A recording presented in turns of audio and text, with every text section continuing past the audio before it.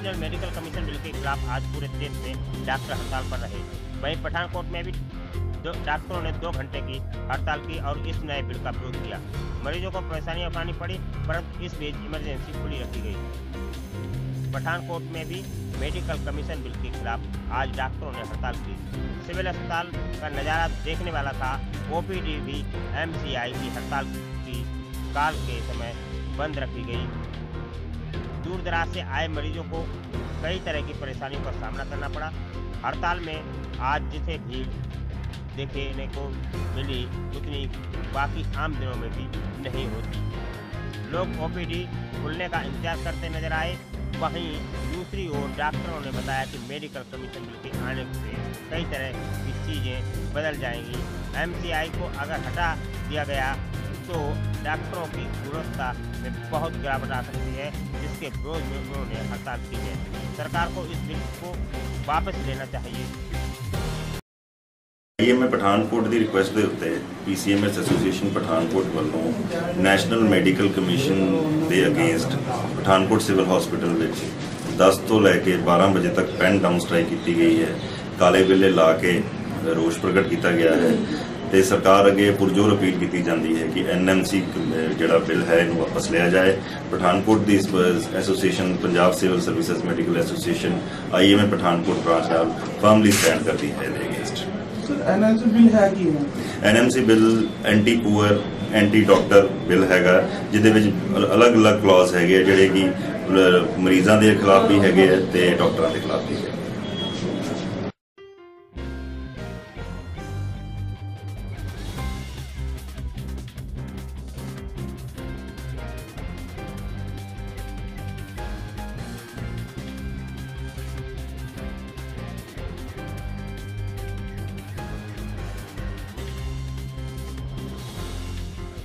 Pathankot Airways हमले को दो साल मुकम्मल होने पर समाज सेवी संस्थाओं की ओर से हमले में शहीद हुए शहीदों को याद किया गया। उनकी शहादत को नमन करते हुए बाज़ार में शांतिबद्ध ढंग से कैंडल मार्च निकालते हुए शहीद चौक पठानकोट गाड़ी आता चौक में समाप्त किया। इस मौके पर समाज सेवक राजा जुल्का और रवि शर्मा ने बताया कि आज ही के दिन पाकिस्तान के मंसूबों को विफल विफल करते हुए पठानकोट एयर फोर्स आर्मी और सिविल एडमिशन ने संयुक्त रूप से रणनीति बनाई और रणनीति बनाते हुए सफलता हासिल की थी। पाकिस्तान द्वारा भारत बार बार निशाना बनाया जा रहा है। वह चिंता का विषय है। माननीय प्रधानमंत्री नरेंद्र मोदी जी को चाहिए कि इसका ठोस हल निकाले और पाकिस्तान को उसी की भाषा में जवाब दे।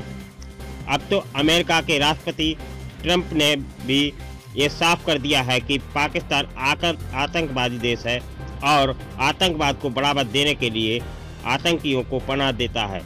इसके बाद पाकिस्तान पर नरम रुख करना गलत है। माननीय प्रधानमंत्री जी को चाहिए कि आर्मी के अधिकार क्षेत्र को बढ़ा देना चाहिए ताकि पाकिस्तान को उसी की भाषा में जवाब दिया जा सके। अंत में एयरबेस हमले में शहीद हुए शहीदों को दो मिनट का मौन रखकर नमन किया गया।